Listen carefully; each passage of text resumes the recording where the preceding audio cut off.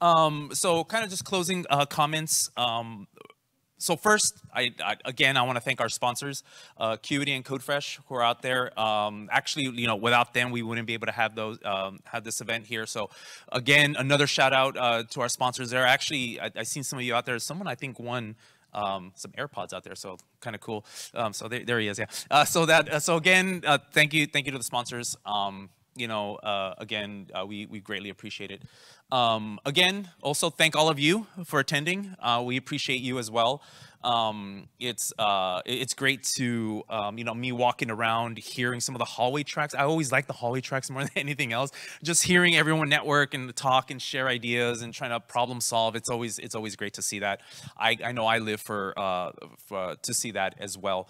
Um, and so um, thank all of you for, for attending and thank all of you who gave presentations. Um, the, you know, we're recording them. They'll be up uh, shortly, so we'll share them at um, individual um, um, at the Open GitOps um, Slack channel. And so, and for that, you know, I'll lead you to this, this slide here. Really just get involved. This is a community. Um, so uh, get involved. Um, we are, uh, there's um, Open GitOps discussions in, in Git. If you are on the CNCF Slack, we're there as well. Um, that's the most natural place for us because we're like Flux and Argo people, so we just, you know, use the same Slack as well. So yeah, just just get involved, enjoy the uh, um, the discussions.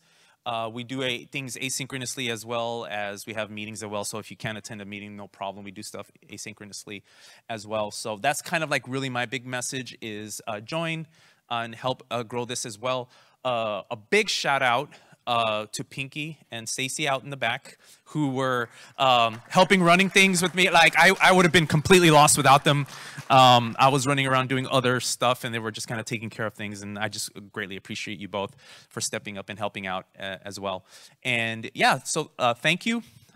Uh, get in touch, um, you know, and uh, you know, we'll, we'll, we'll see you out there. So thank you very much for attending. Appreciate it.